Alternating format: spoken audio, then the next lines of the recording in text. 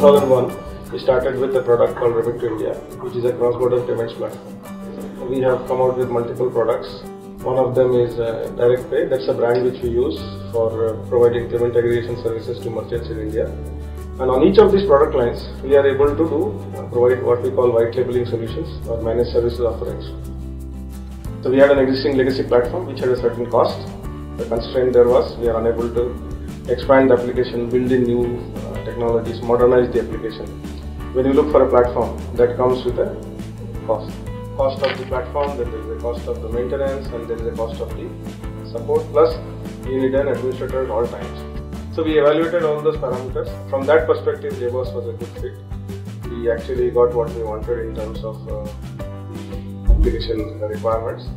We also recognized that with the basic training, you could actually convert a senior developer to a reasonably good JBoss application administrator.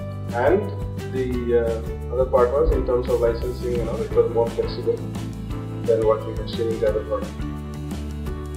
The highlight of the relationship with Red Hat is they have introduced us to the whole open source architecture, open platforms, which we were not using earlier. Earlier we were using proprietary platforms and therefore we are sort of locked in.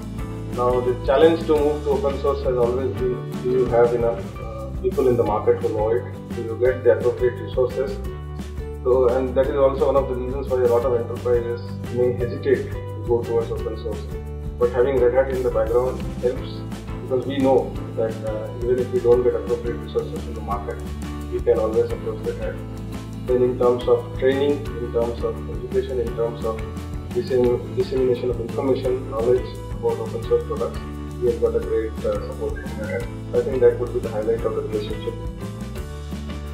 Earlier from 6 to 7 seconds on average, today 90 percentile of our transactions would get a response within 3 seconds for e-commerce.